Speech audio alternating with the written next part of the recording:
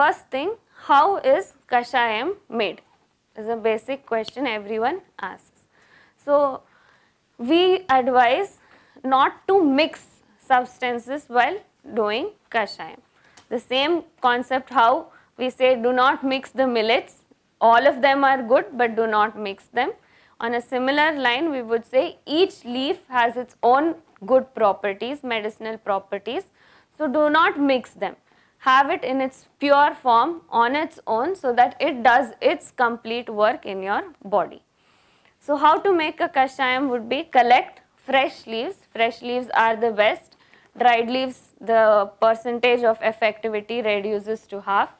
So try to get the fresh leaf as far as possible. Wash it well.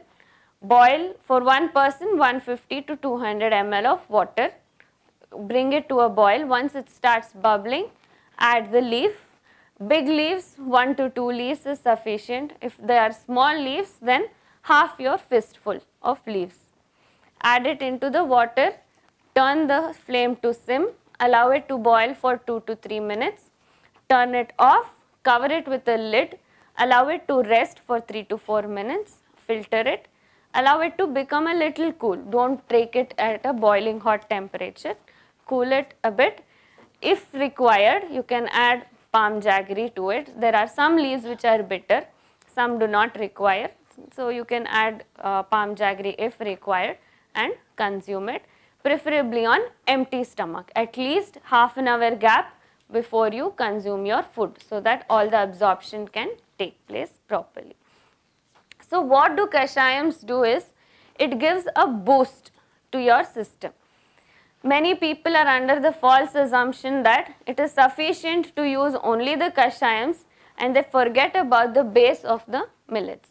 So they continue to eat rice and wheat and take kashayams. First they feel very good. Initially they feel okay I am getting rid of all my problems.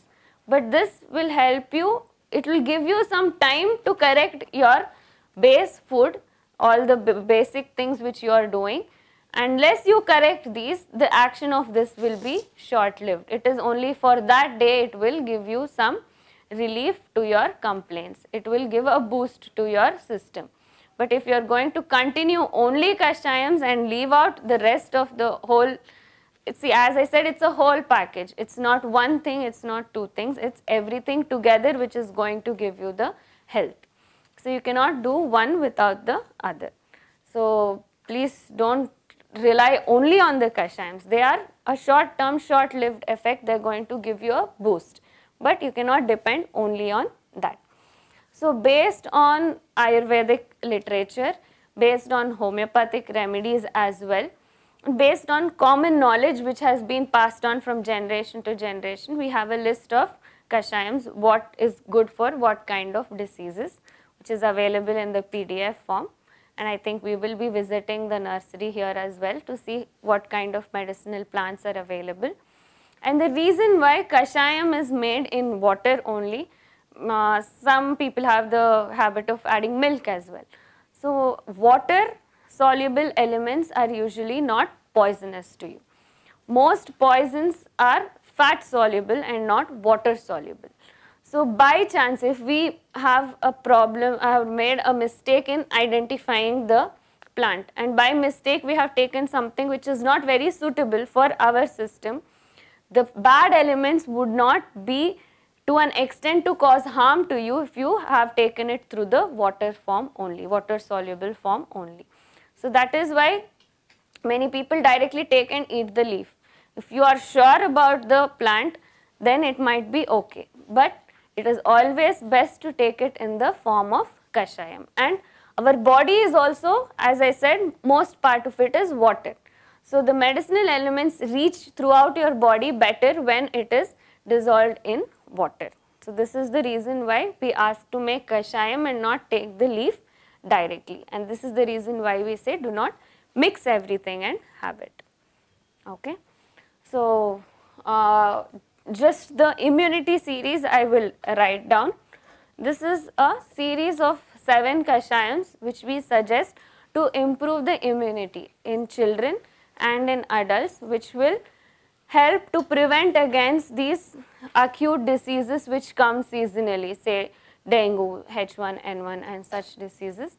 So when we do this on a regular basis, we will be uh, having protection against these kind of infectious diseases.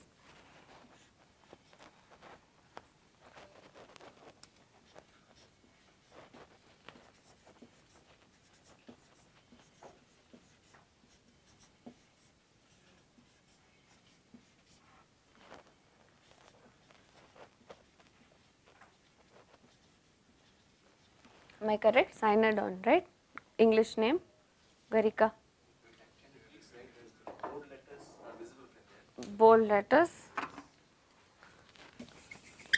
Okay, I will, whoever tells me the local name, I will write that. So first is Garika, the grass. Durva.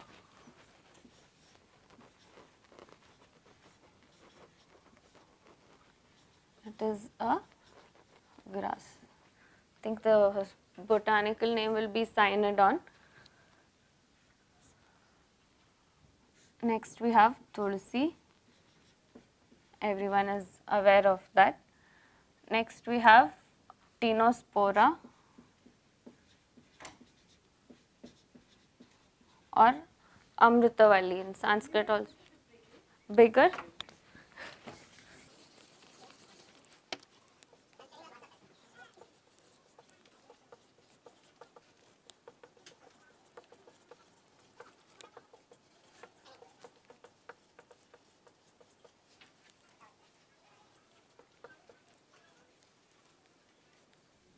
Bilva is called locally? Bill.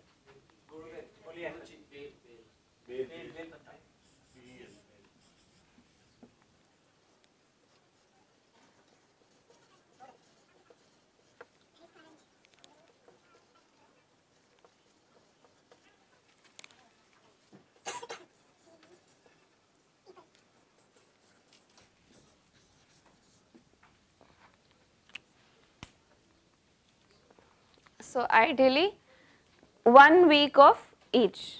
Kashayams we suggest early morning, empty stomach, continuously one week, one kind of kashayam. But if you are in a hurry, say the season has already come where many people are getting the flu or many people are getting chikungunya, many people are getting dengue, then you can run through the series with 3-3 days of each if you are in a hurry. Yeah and we go in the order of smallest to the biggest. So especially for children, when we send them to school, we are afraid because any other kid has the flu, cough, fever, our child might get the flu or the fever. So we are scared to send the children to school. Immunity has become a big problem. So when you go through this once in six months, once in a year, their immunity is taken care of. You will not require the frequent vaccinations which are given. So how does this boost the immunity is? These have different kind of, they present different kind of antigens to the body so that our body produces the antibodies and when we have different ready with us, we are ready to fight the different kinds of infections which we are prone to. So up to the age where the child is having the mother's milk, 6 months, the immunity is derived from the mother's milk. So as long as the mother is feeding the child well, then if the mother takes these kashayams, it is sufficient. We will not be giving it to the baby. Up to the age of 1 year at least, it is not required. After that, we can start with uh, one fourth tumbler after the age of 1 year.